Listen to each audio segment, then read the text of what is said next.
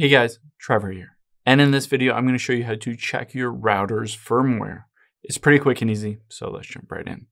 Now, let's head into the settings here on your phone or on your computer, and we need to head into your Wi-Fi. So tap on Wi-Fi, and tap on the little I right next to your Wi-Fi network.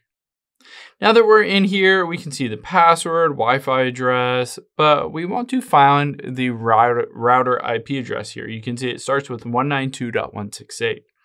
I'm going to tap and hold on it and hit copy. And then I'm just going to paste this into a web browser. So hit paste and go.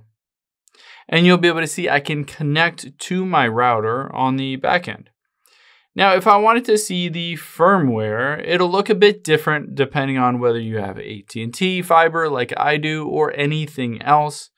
But we're going to look for something like diagnostics or update. So I'm going to tap diagnostics here.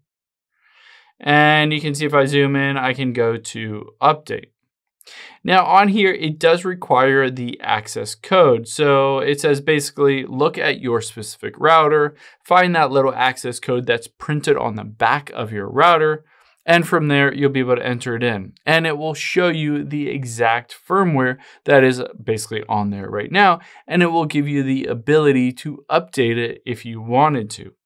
So you can go back, you can also just check on any of these other things if you wanted to reset it or the system logs or anything like that if you want to check and see if everything else looks good on your router.